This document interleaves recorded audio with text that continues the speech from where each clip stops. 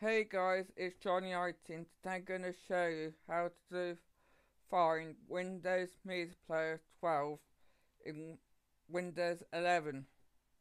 First, open up your um, search box. The search icon looks like this.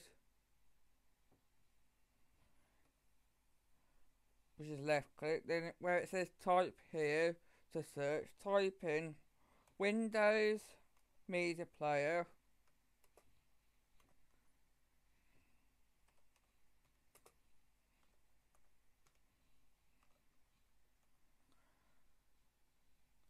Then left click once um, you found it in the search results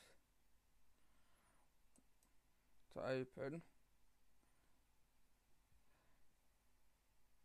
I'm going to choose recommended settings, but you can choose custom. And then click finish.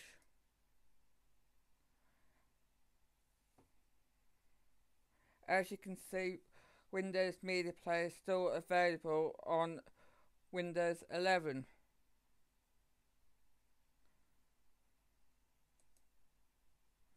Thanks for watching this video. Please like and subscribe for more Jonny IT videos and don't forget to share this with your friends and family if you found this useful and bye for now.